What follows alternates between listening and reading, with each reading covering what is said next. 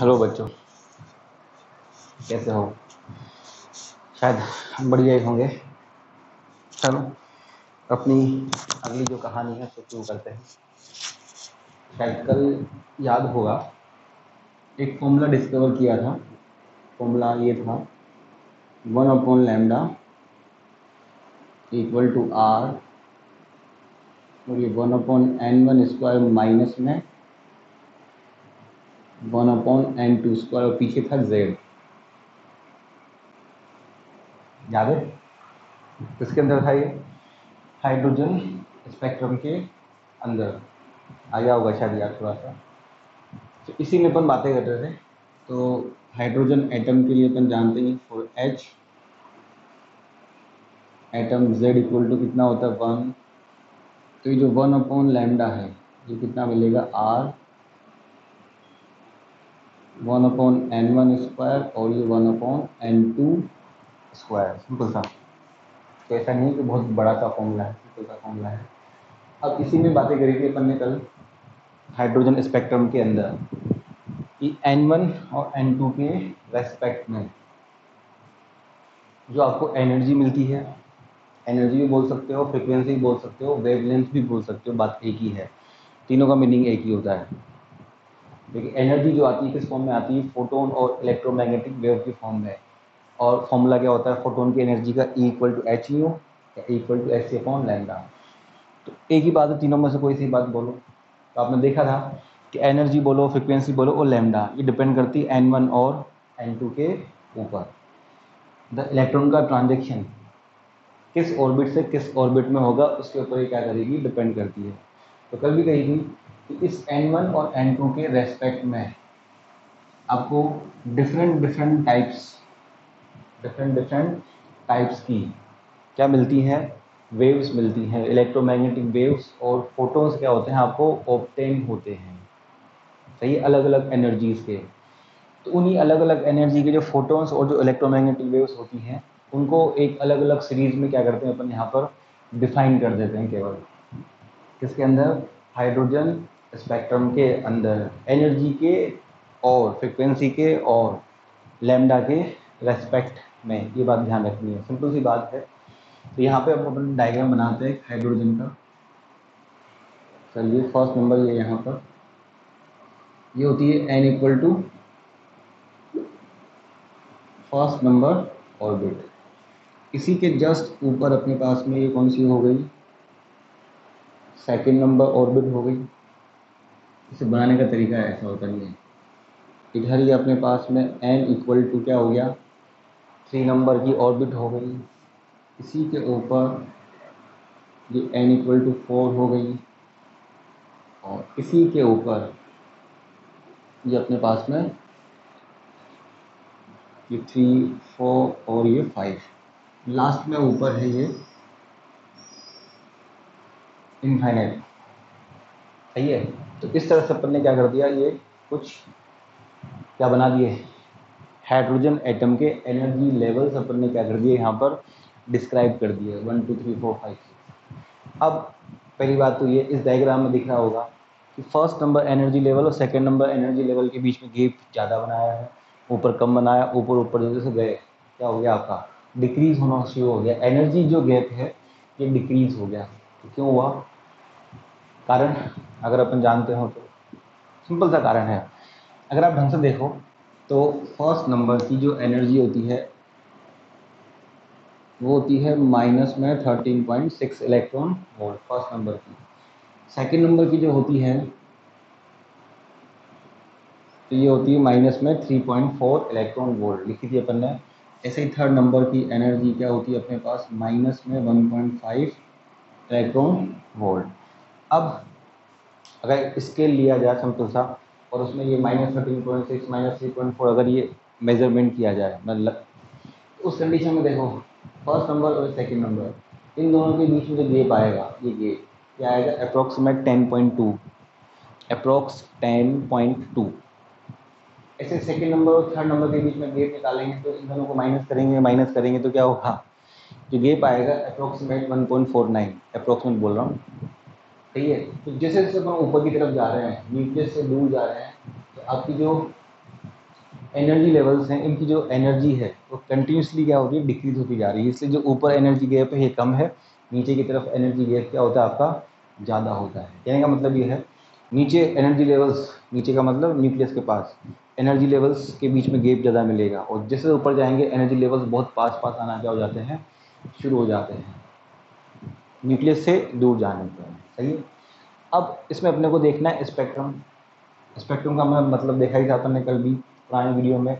Emission और observation phenomena of energy from atom known as a spectrum अब hydrogen में कितना इलेक्ट्रॉन होता है? ओनली जस्ट वन तो पहले आपके पास हाइड्रोजन के अंदर क्या होता है? ओनली जस्ट वन इलेक्ट्रॉन होता है यहाँ किसके अंदर? फ़र्स्ट नंबर ऑर्बिट के अंदर. रिवोल्व करता ही है। अब अगर इस इलेक्ट्रॉन को जो फ़र्स्ट नंबर ऑर्बिट में है रिक्वायर्ड अमाउंट में एनर्जी मिले कहीं से भी, कहीं से भी मिल सकती है। आसपास से या आप दे सकते हो अपनी इच्छा के ऊपर डिपेंड करता है चॉइस के ऊपर। तो फ़र्स्ट नंबर इस इलेक्ट्रॉन को अगर एनर्जी मिले तो ये इलेक्ट्रॉन यहाँ से क्या हो जाएगा? मूव करेगा। कहाँ पे? अपवर्ड डायरेक्शन के अंदर। किसी हायर एनर्जी लेवल्स के अंदर।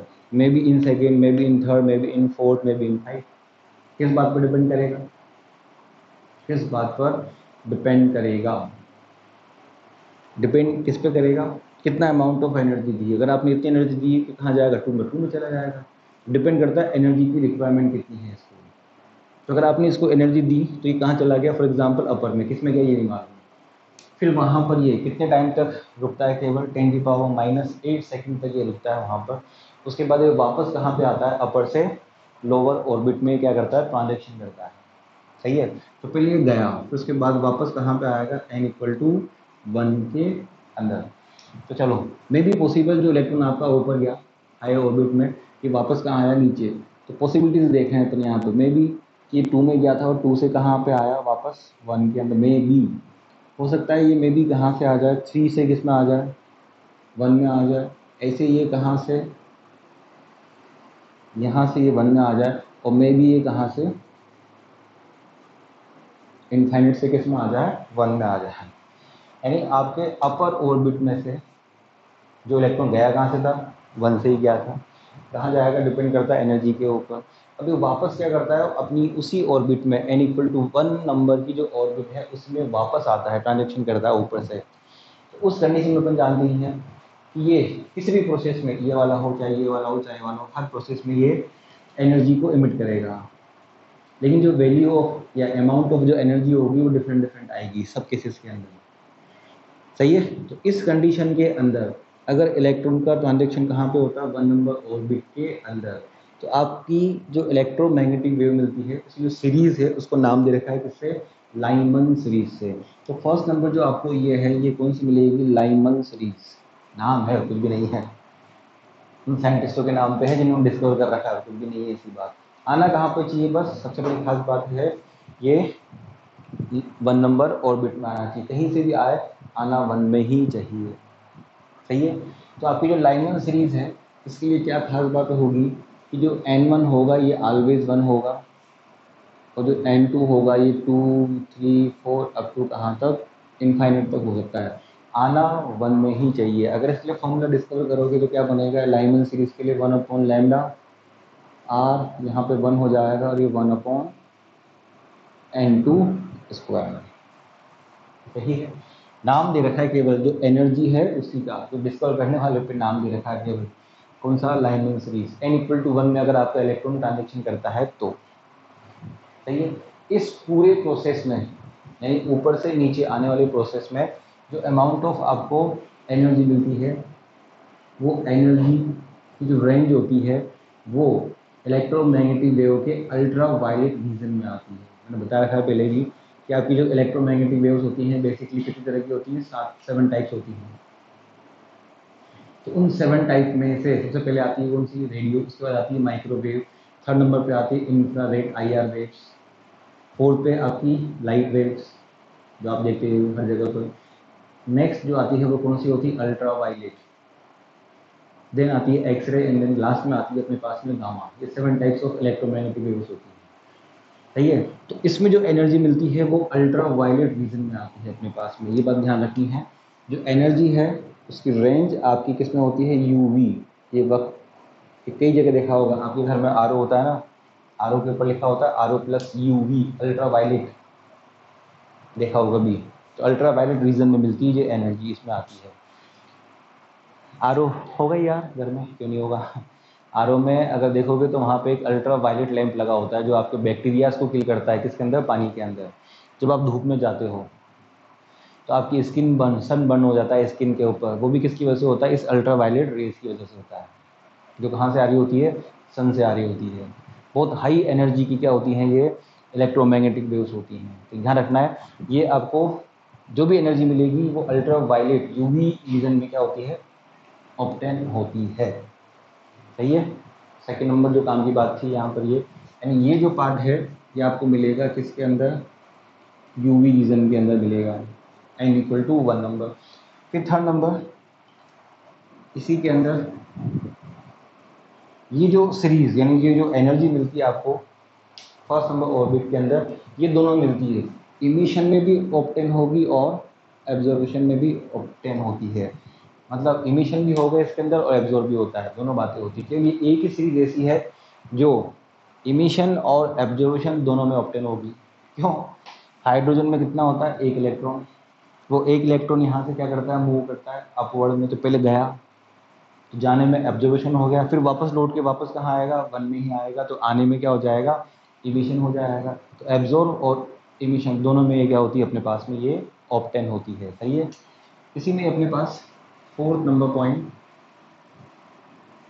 कैसे कि इस प्रोसेस में minimum amount of energy and maximum amount of energy कितना होता है? देखते हैं तो देखो देखो जब ये यहाँ से आएगा तो इस प्रोसेस में यहाँ पर एनर्जी आपको क्या मिलेगी? मैक्सिमम क्यों? और इस प्रोसेस में जब ये आएगा तो यहाँ पे जो एनर्जी मिलेगी, वो आपको मिलेगी मिनिमम एनर्जी मैक्सिमम है तो इस प्रोसेस में जो लैम्डा मिलेगी, वो आपको मिलेगी मिनिमम और इस प्रोसेस में जो लैम्डा मिलेगी, वो मिलेगी मैक्सिमम ऐसा क्यों हो गया भाई? जो जितनी दूर से आएगा, वो उतना ही अमाउंट ऑफ़ एनर्जी क्या करेगा? रिलीज़ करेगा। और जो जितना पास से आएगा, वो उतना ही कम अमाउंट ऑफ़ एनर्जी क्या करेगा? रिलीज़ करेगा। सिंपल सी बात है यार तुम्हें कोई इमरजेंसी हो गई। और आपने अपने दोस्त को फ़ोन किया, एक तुम्हारे बगल में ही है और एक बहुत दूर है। तो जो बगल वाला होगा, फटाफट आ जाएगा, बहुत कम अमाउंट ऑफ़ एनर्जी क्या करेगा? और लॉस करेगा। और जो दूर से होगा, उसको टाइम लगेगा और ज़्यादा अमाउंट में क्या करेगा? वो एनर्जी लॉस करेगा। तो जितना दूर से तो कितना दूर? मैक्सिमम कितना हो सकता है? इनफाइनेट अगर इनफाइनेट से आएगा तो मैक्सिमम अमाउंट ऑफ़ एनर्जी दिख रही है सामने यहाँ पर तो ये उल्टा कैसे हो गया? आपने फॉर्मूला पढ़ा है। कौन सा? E equal to S C upon lambda ये दोनों एक दूसरे के कैसे हैं इनवर्स है। ये मैक्सिमम है तो ये क्या होगा अपने पास में? मिनिमम इसलिए लिखा हुआ है सही है? तो मैक्सिमम के लिए, यानी कि आपके पास में ई मैक्सिमम ऑब्लिक में लैमडा मिनिमम के लिए ट्रांजेक्शन क्या होना चाहिए आपके पास? कि जो एन वन है ये कहाँ से आना चाहिए? परमानेंट वन और जो एन टू है ये कहाँ से आना चाहिए? इनफाइनिट से। रखो वैल्यू इसके अंदर तो वन अपॉन लैमडा ये आर यहाँ वन माइनस कितना हो जाएगा? ज़ीरो ज़ीरो क्यों हुआ? यहाँ रखोगे इनफाइनेट तो वन अपॉन इनफाइनेट कितना होता है? ज़ीरो तो ज़ीरो हो गया। तो वन अपॉन लैमडा अपने पास में कितना आ गया ये? आर आ गया। तो लैमडा की जो वैल्यू है कितनी आ गई? वन अपॉन आर तो ये आपके पास में आएगी approximate nine one two angstrom याद होनी चाहिए। तो minimum value of wavelength nine one two, और इससे वन अपॉन आर की वैल्यू आ सकती है हमारे पास कल लिखी थी अपन ने। इसके जस्ट पहले वाले वीडियो के अंदर, वन अपॉन आर की वैल्यू सॉरी आर की value, one upon nine one two M S calculation में बहुत काम आती है तो याद होनी चाहिए, simple C value of R, one upon nine one two M S के अंदर। ये आपकी मिनिमम वैल्यू है, यानी इस कंडीशन में जो वेवलेंथ आएगी, वो कितनी होगी? Nine one one M S ऐसे इसी में फिफ्थ नंबर एनर्जी मिनिमम और लैम्डा मैक्सिमम तो क्या कंडीशन बनेगी इनके लिए? एन वन की वैल्यू परमानेंट वन है और एन टू की वैल्यू अपने पास में कितनी होगी? Only two value of n two कितनी हो जाएगी? टू इस कंडीशन में जब आप प्लेस करोगे तो ये वन अपॉन लैम्डा ये फॉर्मूला आपके पास आर ये वन हो गई सही तो यहाँ पे कितना हो गया? फोर यहाँ रखेंगे टू टू का स्क्वायर कितना होगा? फोर फिर इसको सोल्व करेंगे। तो वन अपॉन लेमडा जानते हो? वन में से वन बाई फोर जाएगा तो कितना आ जाएगा? ये थ्री आर बाई फोर जब इसको कैलकुलेशन करके अपन सोल्व करेंगे तो जो लैम्ड आएगी आएगी one two one two angstrom यानी बारह सौ बारह angstrom approximately one two one two angstrom यानी जो लाइनिंग सीरीज़ है, उसके अंदर जो रेंज होती है वेवलेंथ की वो nine one two minimum value होती है और मैक्सिमम वैल्यू कितनी होती है? One two one two four और जो रेंज होती है वेवलेंथ की, ये किसके किसके अंदर आती है? अल्ट्रा वायलेट रीजन के अंदर। सही है? और कितना अमाउंट ऑफ़ एनर्जी अगर मैक्सिमम देखेंगे तो मैक्सिमम अमाउंट ऑफ़ एनर्जी कितना आएगा? थर्टीन पॉइंट सिक्स आएगा। और मिनिमम अमाउंट ऑफ़ एनर्जी कितना आएगा? ये टेन पॉइंट टू दिखा है? इन्फाइनिट पे एनर्जी ज़ीरो यहाँ दोनों का डिफरेंस करिए थर्टीन पॉइंट सिक्स इन दोनों की एनर्जी का डिफरेंस करोगे टेन पॉइंट टू तो इसके रेस्पेक्ट में जो एनर्जी आती है, वो आती है थर्टीन पॉइंट सिक्स आती है। इसके रेस्पेक्ट में जो एनर्जी आती है, वो आती है अपनी ten point two electron volt के अंदर। तो ये लाइन सीरीज़ है। इनमें छोटे छोटे क्वेश्चन हैं। ये जो अपन लिखे हुए हैं, किस रीजन में आती है इलेक्ट्रो इलेक्ट्रोमैग्नेटिक वेव के अल्ट्रा वाइल्ड रीजन में मैक्सिमम वैल्यू क्या होती है मिनिमम वैल्यू क्या होती है? तो ये सब चीज़ें याद भी होनी चाहिए। और बहुत सारे क्वेश्चन हैं। इसी फॉर्मूले के ऊपर। एन टू आपको गिवन होगा। आप रखिए और क्या करिए उसके अंदर सोल्व करिए। सही है? तो फ़र्स्ट नंबर ये कहानी किसके लिए थी केवल? लाइमन सीरीज़ के लिए। Lyman only and only Lyman series कब होगी? जब ट्रांजेक्शन ऑफ़ इलेक्ट्रॉन किस ऑर्बिट में होगा? From one number orbit may be lower to higher और may be higher to lower दोनों में होगा एब्जॉर्ब भी होगी और इमिट भी होगी। रीज़न पता ही है किसमें होगी ये? अल्ट्रा वायलेट रीजन के अंदर होगी। चलिए। आगे चलते हैं। ये तो थी अपनी लाइमन के लिए अब उसके बाद में अपने पास में वन नंबर वाली कहानी खत्म होगी। मे बी इलेक्ट्रॉन का ट्रांजेक्शन किसमें हो जाए? टू में। कहाँ से? अपर से। इस तरह से। कहीं से भी आए एन इक्वल टू टू में। जो तो सीरीज़ बनेगी, वो कौन सी बनेगी? बामर सीरीज़ सबसे पहले यही ऑब्ज़र्व हुई थी, कौन सी वाली? बामर सीरीज़ उसके बाद में फिर बाकी जो है, वो डिस्कवर हुई है। चलो खैर, वो अपनी काम की बातें हैं नहीं इतिहास है तो। बामर सीरीज़ क्या होती है? आपको ऑप्टेन होती है। करने वाले साइंटिस्ट का नाम था बामर, इसलिए नाम रख दिया हो तो हमर सीरीज़ ट्रांजेक्शन क्या होना चाहिए इसके अंदर? ट्रांजेक्शन क्या होना चाहिए? इलेक्ट्रॉन का ट्रांजेक्शन हमेशा अपर से कहाँ पे होना चाहिए? N equal to second number orbit में। सही है? N equal to second number orbit के अंदर होना चाहिए। हमेशा, चाहे कहीं से भी हो, हमेशा एन इक्वल टू टू में होगा देन बामर सीरीज़ नाम है उसका हिंदी में और अच्छी बात यह है, अगर इसके लिए अपन देखें फॉर्मूला बनाएँ तो क्या बनेगा इसके लिए? एन वन आलवेज टू बनेगा, और एन टू क्या बनेगा? ये थ्री फोर फाइव से लेकर कहाँ तक? अब टू इनफाइनिट तक बनेगा। सही है? ये बामर सीरीज़ के लिए second number this series is obtain only and only emission में ही ये क्या होती है? ऑप्टेन होती है. ओनली इमिशन ऑब्जर्वेशन नहीं होता. एब्जर्वेशन नहीं होता है. लेकिन होता तो है. चलिए, इसमें सिंपल सा नोट है. एमिशन तो ये हमेशा ही मिलेगी. नोट आपका क्या है? At high temperature high temperature जैसा कई क्वेश्चन में लिखा होगा. हाइड्रोजन गैस को कहीं गर्म किया है या कहीं पे भी सन की बातें करें हाई टेम्परेचर है then this series is obtain in observation also यानी एब्जॉर्ब वाली कंडीशन में भी मिलती है। एट हाई टेम्परेचर इमिशन तो नॉर्मल में है ही सही at high temperature this series is obtain in observation also क्यों? इसमें इलेक्ट्रॉन्स तो आएँगे आएँगे, कोई दिक्कत ही नहीं अपर से कहाँ पर यहाँ अब अपन बातें करते हैं एट हाई टेम्परेचर जब टेम्परेचर बहुत ज़्यादा है, अगर गर्मी पड़ रही है, घर में लाइट नहीं आप कहाँ मिलोगे भाई? आपकी घर की छत के ऊपर मतलब ऊपर ही मिलेगी हाई ऑर्बिट के अंदर ही। सेम वही कहानी यहाँ पर है। जब टेम्परेचर ज़्यादा होता है तो हाइड्रोजन का जो एक इलेक्ट्रॉन होता है, वो होना कहाँ पे चाहिए था? वन नंबर ऑर्बिट के अंदर। होना कहाँ चाहिए था? N equal to one number orbit के अंदर। लेकिन दिक्कत ये है कि वो n equal to one number orbit में नहीं रहता।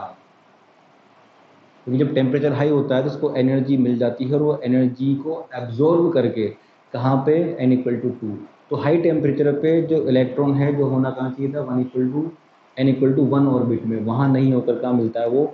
N equal to two number orbit में। तो यहाँ पर मिलेगा। फिर यहाँ से जब उसको एनर्जी मिलती और ज़्यादा, तब वो यहाँ से अपर में क्या करता है? ट्रांजेक्शन करेगा। तो सेकेंड नंबर ऑर्बिट से फिर ऊपर जाता है। सेकेंड से जाएगा तो क्या मिलेगी आपको? एब्जॉर्ब फिर वापस आना ही है उसको। तो एब्जॉर्ब भी हो गया और एमिशन भी हो गया। थर्ड नंबर जो काम की बात है इसके अंदर, ये जो सीरीज़ होती है बामर, ये किसमें मिलती है? आपको लाइट वेव ये सबसे बड़ी खास बात है। लाइट वेव का मतलब विजिबल पार्ट है। जो आप लाइट देख रहे हो, आपके आसपास ट्यूबलाइट से, कहीं से भी, ये एक तरह से कह सकते हो कि बामर सीरीज़ है। यानी जो इलेक्ट्रोमैग्नेटिक जो रीजन होता है, उस रीजन के अंदर जो इसकी जो एनर्जी होती है, वो एनर्जी आपकी लाइट वेव में आती है। तो विजिबल होती है ये इस कंडीशन में और इसमें जो मैक्सिमम अमाउंट ऑफ़ एनर्जी आती है, कि काम आती है बहुत, यानी जो लाइट है आपके पास, उसकी जो मैक्सिमम अमाउंट ऑफ़ एनर्जी आती है, वो होती है आपके पास 3.4 इलेक्ट्रॉन वोल्ट और मिनिमम अमाउंट ऑफ़ जो एनर्जी आती है, ये अप्रोक्सीमेट अप्रोक्सीमेट लिखा है ये। मेरी थोड़ा बहुत नहीं हो सकता है। 1.49 अप्रोक्सीमेट इलेक्ट्रॉन वोल्ट अप्रोक्सीमेट है कन्फर्म वर्जन नहीं है। क्यों आई? जब ये यहाँ से यहाँ आएगा तो इन्फाइनेट है और ये क्या है यहाँ पर। तो आप जानते हो यहाँ पे जब एनर्जी मेंशन करोगे तो ई इन्फाइनेट कितना होता है? ज़ीरो इसकी एनर्जी जब मेंशन करोगे तो ये कितनी होती है? माइनस थ्री पॉइंट फोर आपको बता रखा है एनर्जी का जो इमिशन होता है, वो कितना होता है? एनर्जी लेवल्स के एनर्जी गैप के बराबर तो आप क्या करोगे? E in minus E two तो वैल्यू कितनी आएगी? प्लस में ये थ्री पॉइंट फोर ऐसे इन दोनों का डिफरेंस करेंगे तो अप्रोक्सीमेट कितना आएगा? वन पॉइंट फोर नाइन के आसपास. और ये याद होना चाहिए, क्योंकि नेक्स्ट चैप्टर में काम आता है। ये लाइट की जो लाइट आपको ऑब्ज़र्व हो रही है, उसकी मैक्सिमम और मिनिमम एनर्जी है। जो लाइट आपको मिलती है, उसकी मैक्सिमम एनर्जी 3.4 है। और मिनिमम एनर्जी अप्रोक्स कितनी है? 1.49 इलेक्ट्रॉन वोल्ट के आसपास होती है। है विजिबल पार्ट में आती है। विजिबल का मतलब लाइट व्यू मिलती है कहने का मतलब ये है सिंपल सा। समझिए कब? जब इलेक्ट्रॉन का ट्रांजेक्शन किसमें होगा? N equal to two orbit के अंदर। कहाँ से होगा? ऊपर से। होगा तब, नहीं होगा तो कोई चांस ही नहीं बनता अपने पास में। चलो, ये किसके अंदर है अपने पास? इसका ये लाइट वेव के अंदर चलिए, उठाते हैं इसको। उसके बाद में मे बी पॉसिबल कि transaction of electron in third number orbit from higher orbit किसी भी हायर ऑर्बिट से हो जाए, लेकिन कहाँ पर होनी चाहिए? N equal to third number orbit में। इस कंडीशन में जो सीरीज़ आपको मिलती है, वो होती है कौन सी? पार्शियल। नाम दे दिया यार, क्या करेगा? साइंटिस्टों के नाम के ऊपर ट्रांजेक्शन अगर थ्री में होगा तो इस कंडीशन में जो एनर्जी मिलेगी, उस एनर्जी का सीरीज़ जो बना दिया, उसका नाम दे दिया अपने को यहाँ पर पार्शियल सीरीज़ और सबसे अच्छी खास बात इसके लिए, इस पार्शियल सीरीज़ के लिए एन की वैल्यू कितनी होगी आपके पास में? ये थ्री और एन टू की वैल्यू कितनी होगी? फोर फाइव और ये सिक्स कहाँ तक? अप टू इनफाइनेट तक होगी। जितना आप डाल सकते डाले सही है? फिर अच्छी बात यह है कि ये एनर्जी पार्शियल में जो एनर्जी मिलेगी, ये आपके पास में केवल और केवल किसमें मिलेगी? इमिशन के अंदर। एब्जॉर्वेशन में ये नहीं मिलती है। क्योंकि इनके पास खुद का तो कोई इलेक्ट्रॉन होता ही नहीं है। तीन में होता ही नहीं है फोर में भी नहीं होगा फाइव में भी नहीं होगा। चांस नहीं बनता है यहाँ से इलेक्ट्रॉन के मूव करने का तो। इनमें आ सकता है कहीं से भी ऊपर से। तो ये हमेशा किसमें मिलती है? आपको केवल इमिशन में ही क्या मिलेगी? ऑप्टेन होगी। और जो इलेक्ट्रोमैग्नेटिक वेव आपको यहाँ पे मिलती है, उसकी रेंज होती है आई आर में। आई आर मीन्स क्या हो गया? इंफ्रा रेड रीजन हिंदी में कहते हैं इसको अवरक्त भाग। तो ये इंफ्रा रेड रीजन यानी सिंपल भाषा में कहा जाए तो इस कंडीशन में आपको जो एनर्जी ऑप्टेन होती है, जब electron n equal to third number orbit में क्या करता है? ट्रांजेक्शन करता है। तो जो एनर्जी है, वो इंफ्रारेड एनर्जी होती है। कभी देखिए इंफ्रारेड एनर्जी बिल्कुल देखिए आपके पास टीवी होती है। फिर घर होना चाहिए। फिर घर में क्या होनी चाहिए? टीवी होनी चाहिए। तो टीवी में आपने कई सारे रिमोट यूज़ किए होंगे। रिमोट में आगे छोटा सा बल्ब होता है। उससे एक इनविजिबल सी वेव्स निकलती हैं। देखा है समय जब आप किसी भी बटन को प्रेस करते हो तो। तो वो उससे निकलने वाली जो वेव्स होती हैं, आपके रिमोट से, वो कौन सी होती है? इंफ्रा रेड वेव्स होती है। सही है? सिंपल सी है इंफ्रा रेड वेव्स होती हैं। या आपने देखा होगा, घर पे आप किसी बर्तन को बहुत गर्म कर दो, गर्म कर देंगे तो उससे आपने देखा होगा, कुछ इनविजिबल सा, कुछ निकलता हुआ दिखता है, झिलमिल सा। वो सब क्या होती है? इंफ्रा रेड वेव्स होती है। आपने कभी देखा हो, गर्मी के अंदर, भयंकर गर्मी पड़ती है तो सड़क पे से कुछ इनविजिबल सा आपको कुछ मोशन होती हुई दिखती है। वेव्स निकलती हुई ऑब्ज़र्व होती हैं किसी भी हॉट ऑब्जेक्ट से। तो उस कंडीशन में सारी वेव्स कैसी होती है? आपके पास में इंफ्रा रेड वेव्स होती हैं। यानी का मतलब ये कम एनर्जी की है। सबसे पहले मैक्सिमम एनर्जी की मिली अल्ट्रा वायलेट फिर उससे कम हो गई लाइट वेव फिर ये उससे भी कम हो गई कौन सी? आई आर कंटिन्यूस एनर्जी क्या होती है? डिक्रीज होनी भी चाहिए। दिख रहा है ऊपर, यहाँ इतना एनर्जी गे फिर यहाँ और कम हो गई, यहाँ और कम हो गई। एनर्जी गे कंटिन्यूस क्या होता है आपके पास में? कम होना शुरू हो जाता है। तो थर्ड नंबर थी, ये क्वेश्चन थी। ये भी किसमें मिलती है? आपके पास में ये आई आर रीजन के अंदर इंफ्रा रेड रीजन में क्या होती है? ऑप्टेन होती है। कौन सी? पास्चन सीरीज़ इसके बाद में मे बी पॉसिबल ये कहाँ पे आ जाए? फोर में आ जाए। कहाँ से? ऊपर से। तो आपको कौन से मिलती है? उसके बाद में फोर के लिए ये मिलती है ब्रेकेट सीरीज़ सेम वही कहानी है, बस डिफरेंस क्या होता है यहाँ पे? इस जगह पे क्या हो जाएगा? फोर फिर फाइव सिक्स एन टू ये भी किसमें मिलेगी? इमिशन में और ये किसमें मिलेगी? आई आर में। इसके बाद में ऊपर की जितनी भी हैं, ये सब किसमें मिलेंगी? इंफ्रा रेड रीजन के अंदर। और किसमें मिलती हैं ये? इमिशन में ही मिलती हैं।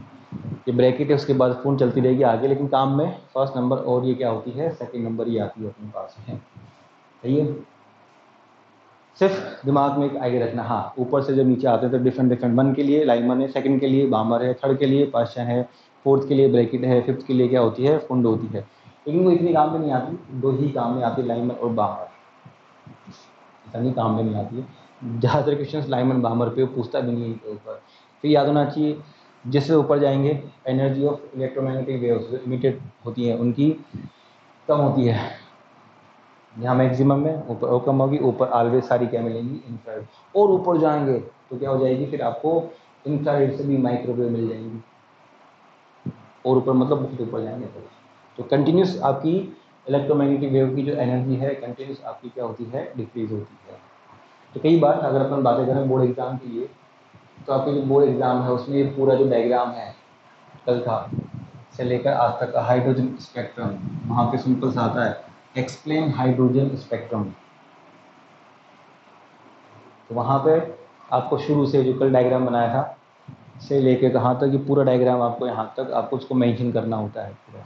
अगर टू मार्क्स नहीं है, कुछ तो ज़्यादा नहीं आता है यहाँ पर सही है? तो ये हाइड्रोजन स्पेक्ट्रम था। आराम से अपनी लैंग्वेज में आप बनाकर लिख सकते हो, कोई खास ऐसी बड़ी बात नहीं है। सही है? गेप ऑफ़ एनर्जी हो चुका है। इमिशन एनर्जी ऑफ़ चलो, ये था बोर्ड थ्योरी की पूरी कहानी। कितने डेरिवेशन आए, केवल तीन। Radius speed and energy and then उसी में क्या हो गया हाइड्रोजन स्पेक्ट्रम और अच्छी बात यह है, इन तीन या चार डेरिवेशन के ऊपर ही आपका जो पूरा चैप्टर है, ख़त्म हो जाता है। हाँ ख़त्म हो गया। और इस पर बहुत सारे क्वेश्चन से कमी नहीं है, भाई, कोई कम बहुत नहीं, बहुत सारे हैं। फॉर्मूलेस थोड़े से अजीब से हैं। हो जाते हैं, यहाँ एक आर का है। N square H square point five two वाला पूरा स्पीड का है देन एनर्जी एंड जो भी है। ही डाल देंगे, आप करिए। अब कुछ थियोटिकल पोर्शन है, सुनने की कहानी जो किसकी? Demerits of Bohr theory जैसे सब, आपने देखा, पहले डोल्टन था, उसकी भी डीमेरिट्स थी, उसके बाद थॉमसन की भी डीमेरिट्स थी, फिर देन रदरफोर्ड की भी डीमेरिट्स थी। ऐसे यहाँ पर इसकी भी डीमेरिट्स हैं। सही है? सबसे पहली डीमेरिट्स सबसे फ़र्स्ट नंबर पे। अब मेंशन करना कॉपी के अंदर, क्योंकि तो सारा लिखना तो पॉसिबल है नहीं बोर्ड पे सबसे जो कॉमन जो इसकी सबसे बड़ी जो बेस है, वो क्या है? फ़र्स्ट नंबर पे, ये केबल कैसे? Applicable on hydrogen comma H E plus L I plus plus मतलब एप्लीकेबल ऑन हाइड्रोजन और hydrogen like atoms means this theory is applicable only and only on hydrogen or hydrogen like atoms. कहने का मतलब ये है, ये उन्हीं पर ही वैलिड होगा जिनकी ऑर्बिट में ओनली कितना वन इलेक्ट्रॉन ही होगा बस। अब जानते हो हाइड्रोजन में होता है ये हीलियम में प्लस का मतलब आपने दो होते हैं, एक निकाल दिया। लिथियम में कितने होते हैं? तीन। दो आपने निकाल दिए, कितना बचा? एक। एक ही इलेक्ट्रॉन वाले पर ये क्या होता है? वैलिड होता है। बाकी पर ये नहीं होता। उसका रीज़न भी है कुछ सोचो। आपने फ़र्स्ट थ्योरी क्या लिखी? बीच में क्या होता है? न्यूक्लियस और इसके अराउंड कौन घूमता है अपने पास में? एक ये इलेक्ट्रॉन सही है? और आपने देखा होगा इलेक्ट्रॉन के बीच में और इसके बीच में अट्रैक्शन फोर्स काम करता है और दूसरे कोई फोर्स काम करते ही नहीं। और ये अट्रैक्शन फोर्स ही इसको मोशन के लिए क्या प्रोवाइड कर देता है अपने पास में ये एफ़ सी वही मायावती वाला फॉर्मूला अब ओनली जब इलेक्ट्रॉन वन है, अब फॉर एग्जांपल मान लीजिए अपने पास में ये दो इलेक्ट्रॉन्स हैं यहाँ पर। अपन एज्यूम कर लें कि इसमें दो इलेक्ट्रॉन्स हैं तो फिर क्या लग जाएँगे यहाँ पर दो अट्रैक्शन फोर्स बस गड़बड़ यहीं शुरू हो गई। तो इलेक्ट्रॉन्स के बीच में तो आपने क्या लिखा वहाँ पर? कि आपका जो एफ़ ए है, ये एफ़ सी को प्रोवाइड कर देता है वहाँ पर, दोनों काम। अब गड़बड़ क्या हो जाएगी? अगर जैसे दो इलेक्ट्रॉन्स आएँगे और भी इलेक्ट्रॉन्स आएँगे तो उनके बीच में फोर्स आ जाएगा। इलेक्ट्रॉन्स इलेक्ट्रॉन्स के बीच में भी क्या होगा? रिपल्शन फोर्स आ जाएगा। तो फोर्स को जो कैलकुलेट करना है, वो इतना आसान काम नहीं होगा। क्योंकि पोजीशन कंटिन्यूस इलेक्ट्रॉन्स की क्या होती है? चेंज होती है। तो फोर्स को अपन कैलकुलेट नहीं कर सकते। थे तो जो फ़र्स्ट नंबर हाइपोथेसिस आपने लिखी उसको आप शो ही नहीं कर सकते। F A equal to F C balance नहीं कर पाओगे। क्योंकि सब पे फोर्स लगेगा तो निकालेंगे कहाँ से रिजल्टेंट तो प्रैक्टिकली वो पॉसिबल नहीं होता। इसलिए इन्होंने क्या कर दिया, हटाओ सब। एक इलेक्ट्रॉन छोड़ो, उस पर अट्रैक्शन उसी पे मायावती का स्क्वायर लगाओ, मस्त रहो। तो हाइड्रोजन और हाइड्रोजन लाइक जो एटम्स होता है, उन्हीं पे ही ये क्या होता है एप्लीकेबल है। ये फ़र्स्ट नंबर आपकी, इसकी डी मेरिट्स है। ये सबसे बड़ी डी मेरिट्स थी इनकी। अच्छी तो थी। क्या करें इसका? चलो। सेकंड नंबर जो डी मेरिट है इसकी, ये भी इम्पोर्टेंट है। बहुत नहीं, बहुत इम्पोर्टेंट है।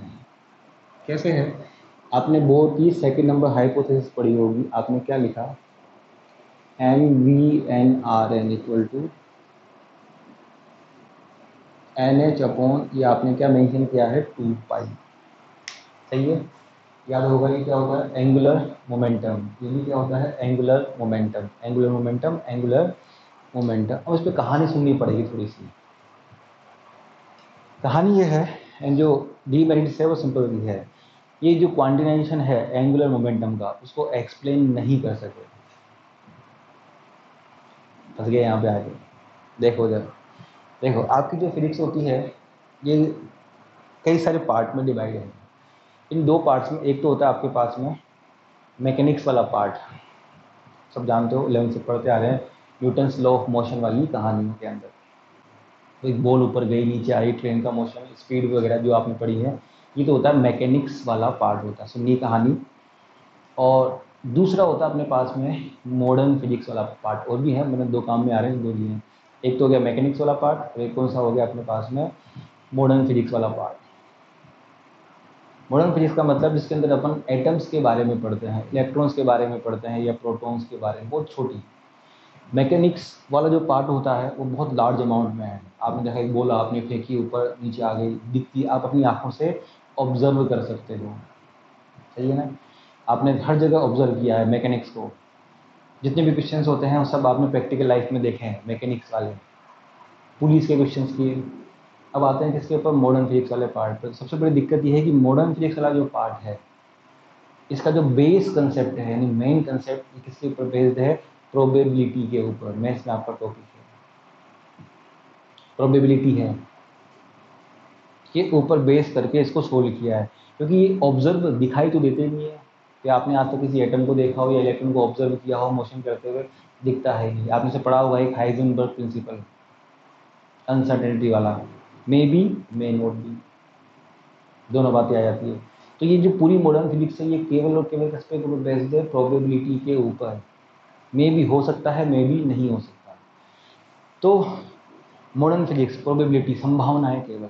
गारंटी नहीं है यहाँ पर। मैकेनिक्स में हर चीज़ प्रूफ है। दिखती है ऑब्ज़र्व कर सकते हो अपनी आँखों से। सही बात है? एक सही है ना? तो एक तो होगी अपने पास मैकेनिक्स वाला पार्ट रियल जिसको अपन जानते हैं एंगुलर मोमेंटम मैकेनिक्स में आता है, पढ़ा होगा momentum M into V तो ये मैकेनिक्स वाला पार्ट है। और ये जो N H upon two pi आपने लिखा हुआ है, ये मॉडर्न फिजिक्स वाला पार्ट है। तो ये तो रियल पार्ट है और ये एक इमेजिनेशन के ऊपर बेस्ड है। है उससे प्रोबेबिलिटी के प्रिंसिपल्स के ऊपर। तो सबसे बड़ी दिक्कत ये है कि इन दोनों को आप इक्वेट नहीं कर सकते। कहा जाए, ये रियल प्रेजेंट ये इंसानों वाली कहानी है और ये भूत वाली किसे दिखे तो हिंदी अनुमान ही अनुमान है भूतों वाली। तो इंसानों के रूल्स आपने क्या कर दिए? अप्लाई किसके ऊपर कर दिए? भूतों के ऊपर। है तो ये प्रैक्टिकली क्या है? पॉसिबल नहीं तो मैंने क्या कर दिया? इस मैक्सिम एंगुलर मोमेंटम मैकेनिक्स वाले पार्ट को, जो मॉडर्न फिजिक्स में जो आपका आता है angular momentum H upon two pi इन दोनों को इक्वेट कर दिया, जो पॉसिबल नहीं है। उनसे पूछा गया आपने कैसे किया? ये कहाँ से लाए? मेरे बस की नहीं है। तो ये सेकंड नंबर इनकी सबसे बड़ी क्या थी? डीमेरिट्स थी।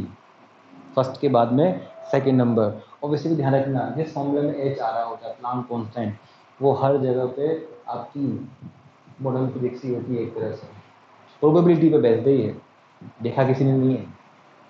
सिर्फ़ हाँ या ना, ये हो जाएगा। ये सही है, ये सही। इक्वेट करके क्वांटिनाइजेशन कर दिया एंगुलर मोमेंटम का। कैसे किया? पूछा, नहीं मालूम है ये सेकंड इनकी क्या हो गई? डी मेरिट्स सही है थर्ड नंबर डी मेरिट्स पे आते हैं। सिंपल सी है ऐसी बात नहीं अभी आपने देखा इलेक्ट्रॉन जब ऊपर से कहाँ आता है? नीचे। ऊपर से नीचे हायर से लोअर ऑर्बिट में जब वो ट्रांजेक्शन करता है तो वो क्या करता है? इलेक्ट्रोमैग्नेटिक वेव्स इमिट करता है, या फोटोन्स क्या करता है? इमिट करता है। तो जब उस स्पेक्ट्रम को, किसके अंदर? मैग्नेटिक फ़ील्ड और इलेक्ट्रिक फ़ील्ड में जब ऑब्ज़र्व किया गया तो वो स्प्रेड हो गया। अब सब ये स्प्रेड कभी आपने देखा होगा, आप अपने मोबाइल की स्क्रीन को पुश करो तो कलर्स स्प्रेड हो जाते हैं। नहीं है तो आप ऐसा करना, आपकी जो टीवी की स्क्रीन है, उसके पास एक मैग्नेट रखना तो आपको दिख जाएगा कलर का स्प्रेड तो जब स्पेक्ट्रम को मैग्नेटिक फ़ील्ड में इलेक्ट्रिकल फ़ील्ड में रखा गया तो ये जो स्पेक्ट्रम है, ये स्प्रेड हो गया फैल गया एक तरह से अलग अलग तो पूछा गया कैसे स्प्रेड हो रहा है? नहीं पता भाई हमको। और इसको डिस्कवर किया था दो साइंटिस्ट थे, जिनका नाम था जीमोन और स्ट्रोक तो उन्होंने इस चीज़ को ऑब्ज़र्व किया था। इसलिए है, ये जीमोन और स्ट्रोक इफ़ेक्ट को एक्सप्लेन नहीं कर पाएगी किस तरह से ये आपकी स्पेक्ट्रम जो लाइंस होती हैं, ये स्प्रेड होती हैं। सही है? फोर्थ नंबर पॉइंट क्या होता है अपने पास में, जो यहाँ पर है? फोर्थ नंबर जो डी मेरिट से इसकी। कि आपने क्या देखा? कि यहाँ फॉर एग्जांपल ये एनर्जी है कितनी? माइनस में तेरह पॉइंट थर्टीन पॉइंट सिक्स और ये है माइनस में three point four electron volt energy है आपके पास। तो ये क्या कहते हैं?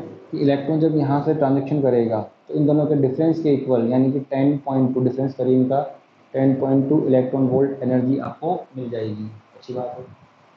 Only just ten point two सुनना है ध्यान से यहाँ पे। Difference of energy ten point two, ये इमिट हो जाएगी बस काम खत्म। लेकिन नहीं है ऐसी। क्यों नहीं, दिमाग को जोड़ा। जैसे जैसे इलेक्ट्रॉन नीचे की तरफ़ आएगा, उसकी एनर्जी भी चेंज होना शुरू हो जाएगी। फोर्स ऑफ़ अट्रैक्शन जो होगा force of attraction of nucleus continuously क्या होगा? इंक्रीज होगा। तो हर मोमेंट के पर, उसके पास एनर्जी क्या होगी? अलग अलग होगी। जब अलग अलग होगी तो बहुत सारे डिफरेंट डिफरेंट एनर्जी के केमिकल नहीं चाहिए थी फोटोन से मिलने चाहिए लेकिन इनके रेस्पेक्ट में क्या हो रहा है, केवल एक ही फोटोन या एक इलेक्ट्रोमैग्नेटिक वेव ऑब्ज़र्व होगी, इसका अमाउंट कितना होगा? Only ten point two electron volt यहाँ पर सही है? तो लास्ट पॉइंट इसकी जो डीमेरिट्स है, क्या है अपने पास में? कि इन्होंने क्या बोला है electrons revolve around the nucleus in एक सर्कुलर पाथ और उस पूरे प्रिंसिपल में हर जगह पर इन्होंने न्यूक्लियस को क्या कर रखा है? रेस्ट कर रखा है। न्यूक्लियस आपका क्या है? रेस्ट है। न्यूक्लियस मोशन में नहीं है। लेकिन आज की डेट में अपन जानते हैं, nucleus also revolve in its axis nucleus भी रिवॉल्व करता है कहाँ पर? अपनी ही एक्सिस पर।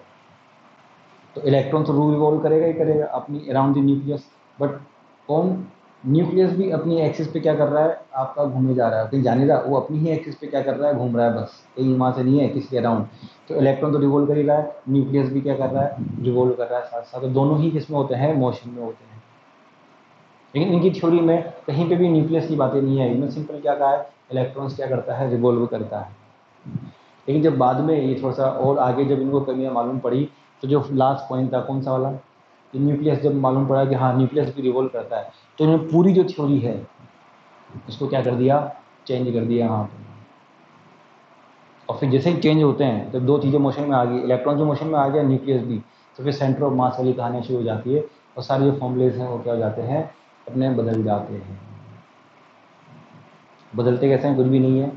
जिस जिस जगह पर आपके फॉर्मूलों में डेरिवेशन तुम्हारे काम के नहीं है यहाँ पर जिस जिस जगह पर एम आता है मास ऑफ़ इलेक्ट्रॉन आता है उसको रिप्लेस कर देते हैं अपन किसी और से। कैसे करते हैं? वो अपन देखेंगे फिर बाद में। तो पाँच डीमेरिट्स हो गई इसकी। First number applicable on hydrogen और hydrogen like atom second number it can not explain about the angular momentum कौन सा angular momentum quantization theory of angular momentum third number it can not explain Zeeman and Stark effect क्या था ये? Spread phenomena of electromagnetic waves और spectrum fourth number क्या था fix amount of energy इसको नहीं भी लिखोगे चलेगा। आपको कोई सी भी चार याद रखनी है केवल। और लास्ट में अपने पास में क्या था? फिफ्थ नंबर फिफ्थ नंबर में क्या है?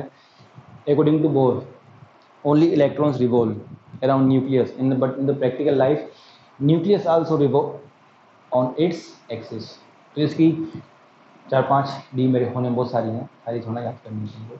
चार पाँच डी मेरिट्स हैं अपने पास में। सही है। चलो, लिखिए आप कॉपी के अंदर अपने पास में। और तो ऑप्शन नहीं है, अपने पास क्या करें। चलो मेंशन करिए इसको। उसके बाद में आज शीट डाल देंगे तो कल से शीट मतलब आपको करनी है। फिर मैं तो करूँगा ही करूँगा। तब तक के लिए बाय बाय